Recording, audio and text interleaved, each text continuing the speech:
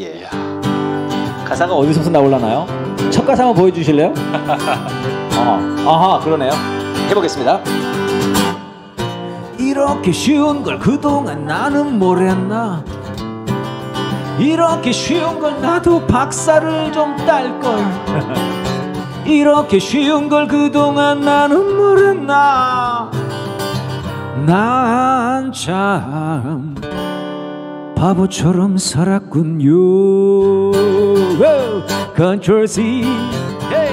컨트롤 V. 구글.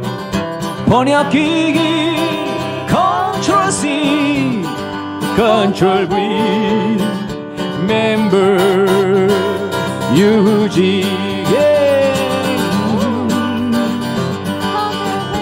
오 구글 번역기기 컨트롤 C 컨트롤 V 멤버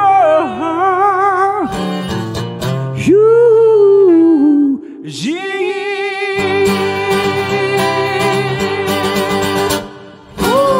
아니 근데 아 노래 참 정말 와 닿긴 하는데 이런 노래 부를 때 겁나지 않으세요? 정말 뭐 집에 갑자기 뭐 누가 문 두드리고 들어온다거나 예. 압수색을 한다거나 어? 제가 네. 그 운동을 하면서 수배밖에 안 당해봤거든요. 감옥을 아직 못 가봤어요. 마지막 기회가 아닐까. 음, 네. 그래서 지금 뭐 고소나 고발을 기다리고 계신 건 아니죠? 요즘에 제발- 대통령실이 열심히 제발 안? 들어오길 바라고 있죠. 그럼요, 그럼요. 네. 저희와 함께 계속해서 노래도 부르시고 또 촛불 집회 참석하셔야 되는데 절대 그런 일은 없어야 예. 됩니다.